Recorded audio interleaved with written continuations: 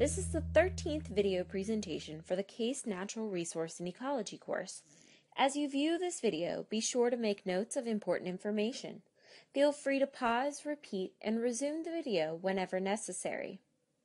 Lumber Calculations, Lesson 7.2, Timber.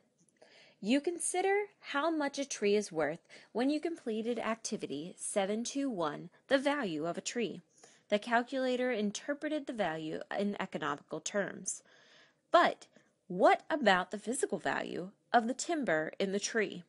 Hubert Humphrey said, The days have ended when the forest may be viewed only as trees, and the trees viewed only as timber.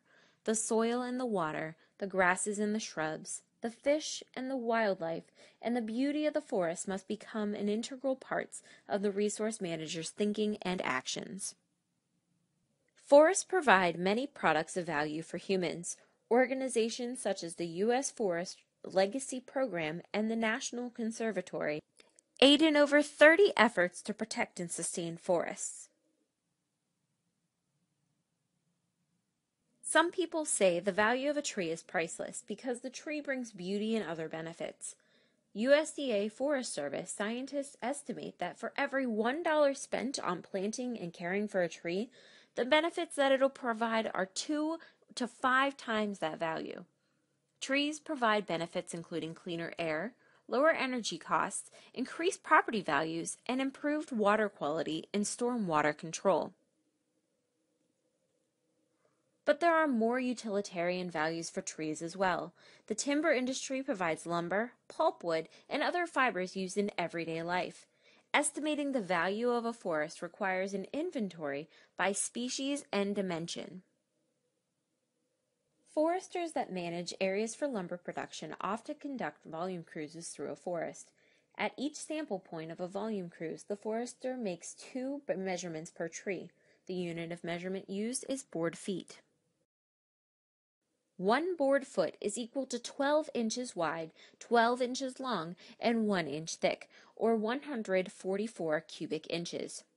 Because not all trees and boards are 12 inches wide and 1 inch thick, a volume table is used. The known diameter and log height of a tree intersect to reveal the volume of wood contained in the tree of different diameters and log lengths. The use of board feet is used to determine the tree measurement for landowners who want to know the value of their timber. To calculate board feet by a 2 by 4 board, 8 feet in length, you would complete the calculations as shown. Convert feet to inches by multiplying 8 by 12. Calculate the cubic inches by multiplying 96, 2, and 4, then divide by 144. You can complete the calculations without converting to inches. If you use cubic feet instead of cubic inches, multiplying 8, 2, and 4, then divide by 12. Either way, the answer is 5.3 board feet. Use this method to calculate the number of board feet in lumber of any size after the lumber has been sawed at the mill. Calculating board feet from standing trees is actually a form of estimation because of the unknown. Three tools are required, a diameter tape, a Biltmore stick, and a Doyle scale. A diameter tape is a type of dendrometer made of cloth or metal. It is used to measure the diameter at breast height, called DBH. DBH is measured at fixed height of 4.5 feet or 1.4 meters above the ground. Diameter is easily measured because the tape is calibrated in units of pi, or 3.14 inches or centimeters. The tape actually measures the tree's circumference, but since the circumference of the diameter are related to pi, the diameter can be easily converted from the circumference.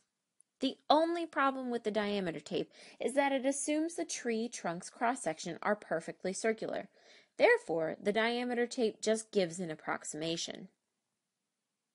The Biltmore stick requires the user to stand at a specified distance from the tree in order to triangulate the estimated merchantable height in increments of 16 feet. Different than the total height, merchantable implies the ability to cut lumber, veneer, or other products from the logs contained in a tree. There are numerous factors that make a log unusable for lumber or veneer, such as too small a diameter, under 10 inches inside the bark, and defects or insect damage. Merchantable height is controlled by a diameter limit in the upper part of the tree or by some defect occurring on the trunk, such as a fork in the trunk or smaller limbs, which renders the wood above unsuitable. The Biltmore stick has been calibrated so that if you stand 66 feet from the tree being measured and hold the stick 25 inches from your eye in a vertical position, you can read the number of merchantable logs from the stick using the Merritt hypsometer side of the stick. The line of sight crosses the stick at the number on the Merritt hypsometer scale, indicating the quantity of 16 foot logs that may be cut from the tree. If necessary, for a very tall tree, walk an additional 33 feet away from the tree. It is important not to move the stick when taking a measurement. You will also need to tilt your head back slightly so that you do not have to move your head when reading from stump point to the cutoff height. The Doyle scale estimates the lumber yield from a log. For smaller logs, the scale underestimates the actual volume. Smaller logs cost more to handle, so rather than subtract from the actual footage and possibly make the logger upset, or pay less for smaller logs, the Doyle scale automatically covers for extra handling cost. To use the scale, first measure the average diameter of the small end of the log inside the bark in inches. Locate that row on the scale. Next, measure the length of the log in feet, Move over on the scale to that length column. Where two measurements intersect, the result is the board footage of that log. The process must be repeated for each log. Deductions are made for defects such as rot and curved logs. As a review, mark or highlight three items in your notes that are important to remember from this presentation. List two ideas or concepts that relate to previous knowledge List any questions you have about this topic. Discuss these questions with your instructor. Keep any notes you have from this presentation organized and available for use throughout the class. Through Activity 722, Calculating Board Feet, you will calculate board feet of lumber and estimate the value of local trees in order to understand the effective forest management tools. If necessary, your teacher will demonstrate the tools you will use as well as additional instructions for estimating the value of six trees.